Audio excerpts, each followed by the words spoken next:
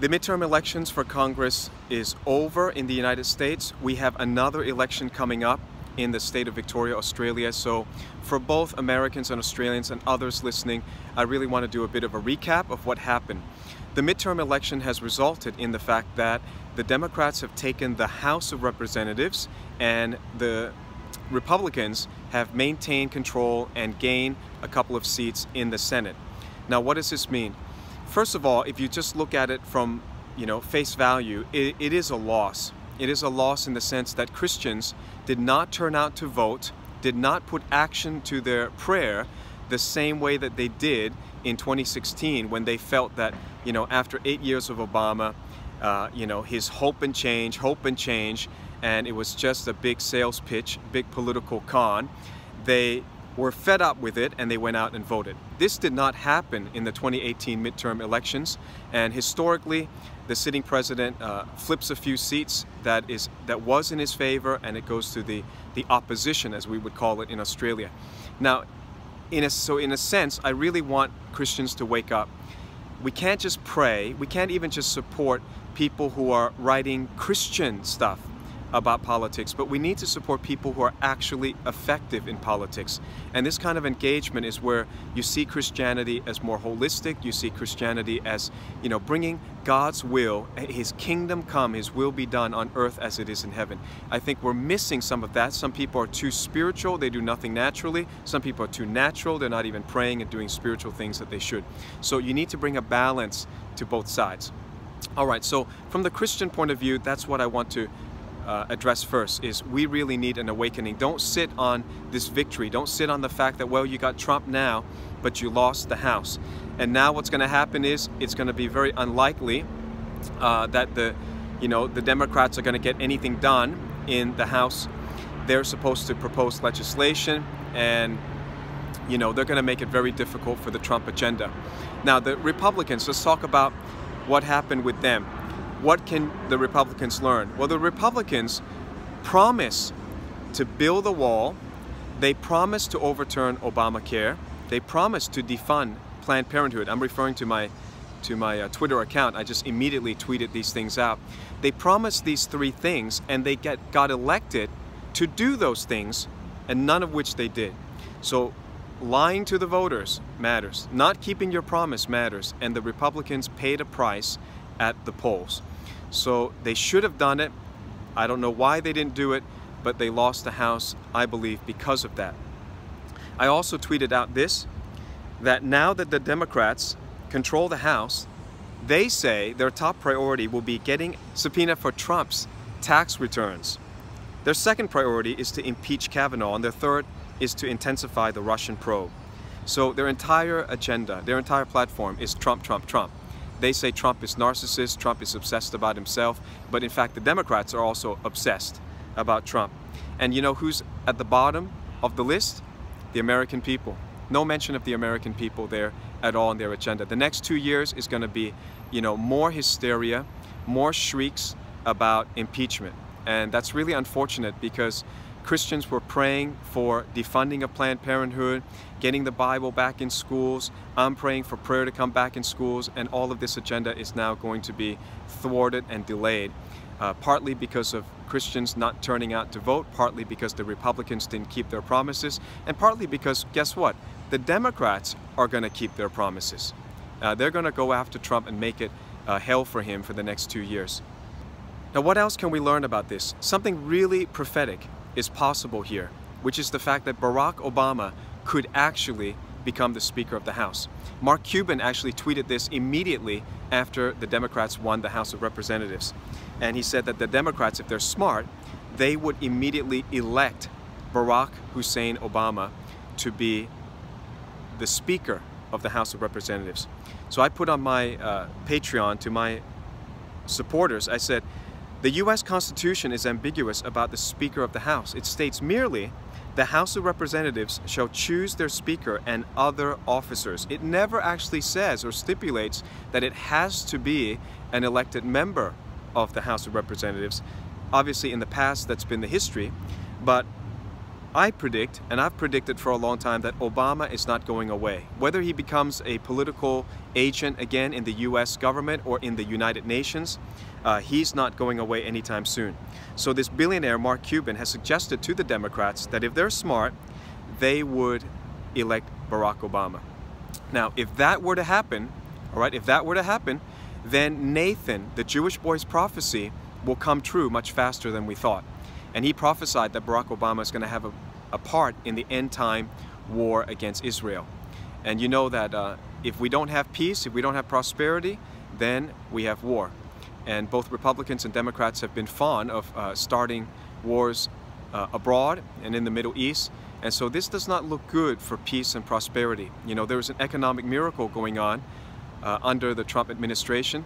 Uh, it's really funny to see if you look at Barack Obama talking about the economy before Trump was elected. He says, there's, there's no way. You have to have a magic wand. He says, does, does Trump have a magic wand to bring jobs back to America? And of course, jobs have come back, investments are pouring in, manufacturing's come back in, billions of dollars are pouring in. This is because Trump is a businessman. Uh, America, you elected a businessman, a guy who gets things done. He's very practical.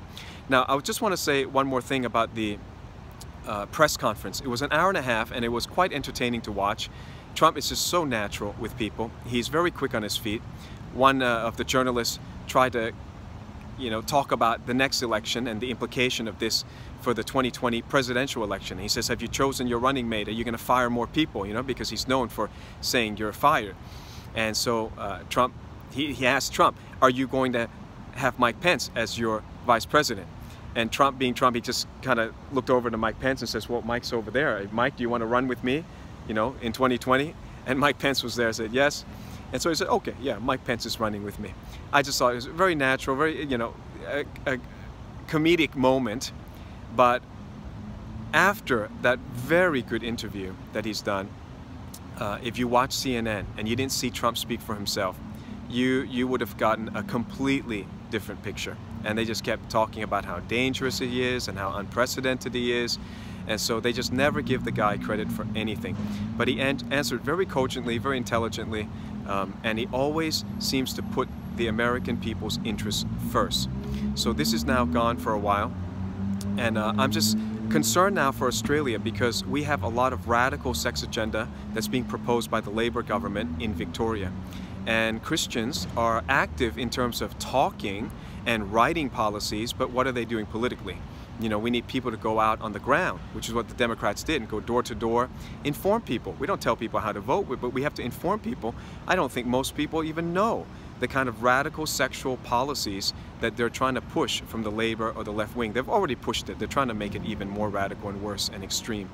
So these things are truly dangerous to our children, and I think the Christians need to wake up and not only pray, but become uh, politically engaged, politically aware, politically informed, and don't just assume, well, we pray and then everything's going to be fine. Uh, God works through the natural and God works through the supernatural, and the wise people know how to balance both.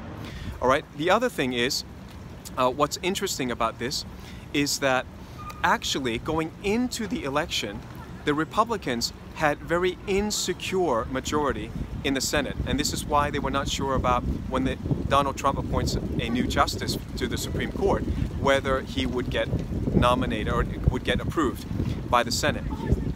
But the House, they had a, a clear majority. So now they've flipped it.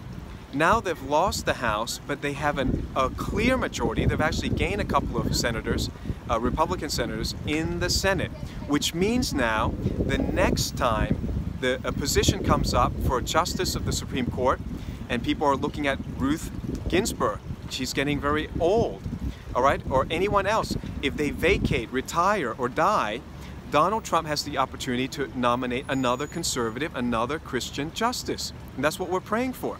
And so what will happen is they will get easily approved through the Senate. So out of the two houses, which one would you want to control? The Senate is actually the stronger of the two bodies in the House of in the Congress. And so actually, it is a win. Donald Trump is right. This is a win for the Republicans, and it's going to be very good for them. All right, so we're looking for a flipping of not just a 5-4 majority in the Supreme Court, but a Next one will be 6-3 majority. And if another justice gets nominated by Trump, it's going to become a 7-2 majority. And this is a total win for the body of Christ because we want to see Planned Parenthood, the abortion killer agency, to be defunded. We want to see the Bible back in school. We want to see prayer back in school. And we can give even secular reasons why that should be. That is a wholesome education. When you read the Bible as a primary source, it is the primary source of so much of our laws, poetry, literature, culture. It's, it's almost unfathomable that the secularists have hoodwinked the people to ban a book. I mean, only communists ban books, and they're actually banned, they have banned the Bible from our students' education in America and in Australia. That's got to change. The secularists have sold a lie to the people, saying that they're neutral. This is nothing neutral at all. This is a radical secular agenda, left-wing agenda that hurts the students and hurts the country. But look, I'll talk about that another time. I've dealt with, with it before. In fact, I talked about 12 reasons, secular reasons why the Bible should be brought back to the schools. Uh, right now, let me just switch gear. You can see it's dark here. You got many pretty lights here. Uh, Christmas is coming up. Hanukkah is coming up. And I want to remind you, by the way, that the Maccabees took action Right? The Maccabees were the ones that when Israel was oppressed by the Syrians, they took action. They didn't just pray, they took action and they won uh, the temple back into their possession and they cleansed the temple and that's why we have the feast called Hanukkah. All right, so Christians need to be reminded in this season, this is actually the most practical out of all the feasts, this is the most practical, the most natural reminder that we need to take not only spiritual action but also natural action. And part of what I'm doing right now is I want to bring the slogan MAGA uh, uh, back to Christians. I think that it should not just be make America great again, but more than that, it should be make America godly again. We have put that slogan up on our t-shirts, uh, mugs, I think there's also long sleeve shirts, men and women style, 15 different colors, uh, amazing. And they're really beautiful designs. I would be proud to wear that and, and to go and meet President Trump. It's really beautiful. And we also have Make Australia Great Again. All right, so please check that out in the link below. They would make beautiful Christmas gifts or Hanukkah gifts for anyone. And um, we also have a faith design, uh, like a helmet of faith, all right? I know in the Bible it's a shield of faith, but it goes with our logo very well. So check that out, give it to somebody, and let's remind uh, people, remind each other that it's not just making America great politically or economically, but we need a great awakening. So God bless you. This is Pastor Steve Cioccolanti wishing you um, success. Happy Thanksgiving very soon to our American uh, watchers and viewers. Happy Thanksgiving over in America, uh, Canada, and also Korea celebrates that. Maybe one day Australia will have that, that wonderful holiday as well. We'll see you in the next video. God bless.